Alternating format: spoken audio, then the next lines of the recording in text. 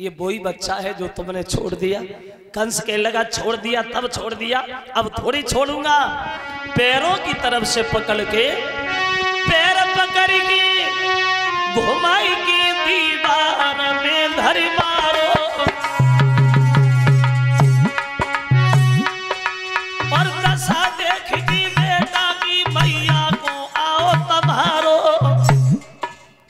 की तरफ़ से पकड़ के जब चट्टान से पटका तो उस बच्चे की मांस की बोटियाँ बोटियाँ बिखरी गई।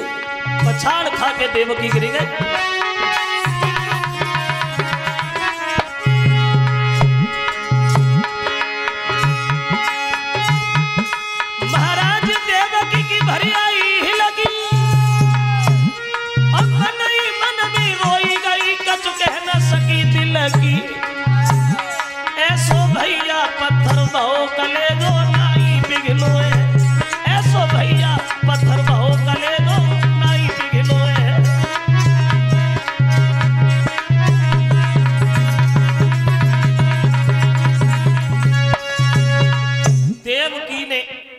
कुछ नहीं कहा।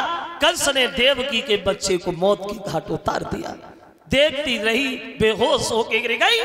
कंस ने देवकी के एक बच्चा नहीं, इसी तरह से छह बच्चों को मौत के घाट उतार दिया।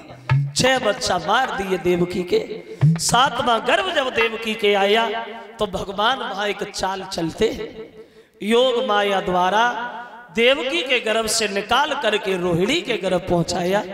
ये रोहिणी वसुदेव की दूसरी पत्नी थी जो गोकुल में रहती थी। जब वहाँ बच्चा पैदा हुआ तो उस बच्चे का नाम रखा गया बलराम।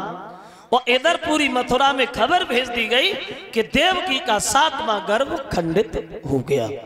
अब चले आठ में गर्भ में स्वयं भगवान। आ गया समय, जिस समय को ऋषि महात्माओं को, दीन दुखियों को बेसब्री से इंतज़ार था। भादों का महीना, कृष्ण पक्ष अष्टमी, दिन बुधवार को चले भगवान। इधर कंस सबको तैयारियों में लगा देता है। आ गया है समय कुर्बानी का। ये वक्त आना कानी का नहीं आई जहाँ एक एक पहरेदार लगता था, दस दस बीस बीस लग जा। जागते रहो, एक दूसरे को आबाद देते रहो। सोना नाई सोना नाई। खड़े रहना। जैसे ही मेरा काल पैदा हो, आके हमें बताना, इतनी दुर्दशा के साथ मारूँगा जो देखने वालों का कलेजा हिल जाएगा। समझ जाएँगे दुनिया के लोग। कंस का काल मारा गया। कंस अमर है। अमर।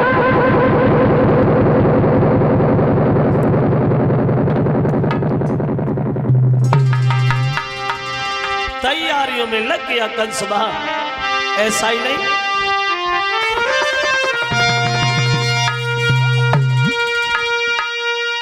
आठवीं गर्भ की बारी थी, हर कंस के या तैयारी थी। और राजा था पहरेदारी में उत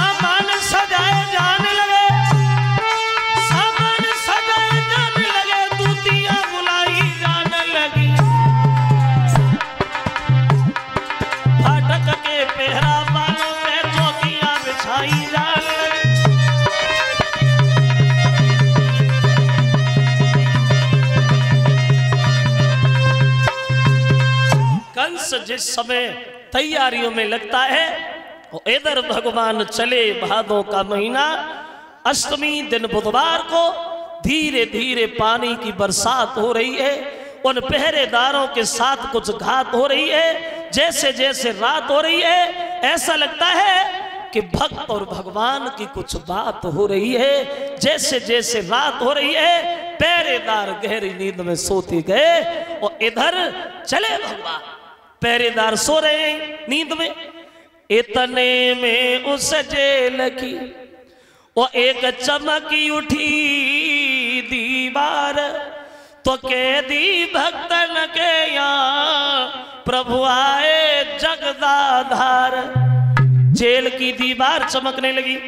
बसदेव और देव की उठ करके बैठ गए सोचे लगे, परमात्मा जे नहीं मालूम पड़ रहा कि हम स्वर्ग में आ गए या स्वर्ग खुद चल के हमारे पास आ गया, भगवान की तस्वीर नज़र आई।